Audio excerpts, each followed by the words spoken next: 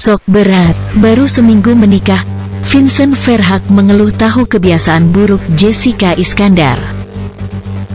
Gagal menjalin hubungan asmara dengan Richard Kyle, akhirnya Jessica Iskandar menemukan labuhan hatinya kepada Vincent Verhaak.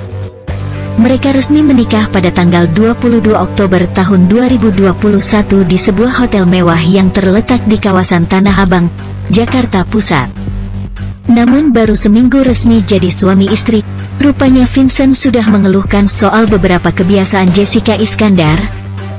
Ternyata Vincent membocorkan kebiasaan Jessica yang sering datang terlambat alias jam karet. Soalnya kebiasaan itu jauh terbalik dengan Vincent yang selalu tepat waktu. Aku sering kasih tahu dia, mending kita yang duluan datang daripada orang lain nunggu. Kalau ketemu orang ya it's just our respect sebenarnya ujar Vincent saat menjadi bintang tamu di program acara Brownies. Lalu Vincent mengeluhkan kebiasaan Jessica membeli tas mewah. Ibu satu anak itu sering membeli tas bermerek, tetapi masalahnya Jessica hanya memakainya sekali saja. Bukan masalah mewah atau enggak, tapi masalahnya lemari sudah penuh tas semua. Dipakai sekali-sekali doang, beli pakai sekali, terus sudah, nggak kelihatan lagi tasnya, jelas Vincent.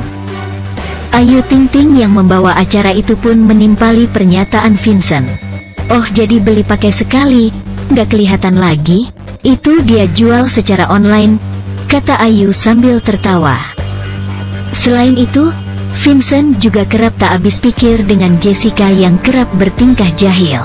Namun Vincent menyadari tingkah iseng itu agar jedar mendapatkan perhatian darinya. Atau lagi staycation terus lagi main sama El, seru-seruan, ada aja yang dia lakuin, ditendang dari belakang, atau mainannya diambil, minta diperhatiin, ungkapnya. Udah lama nggak syuting kan kangen ya, iseng-iseng gitu, timpal Jessica.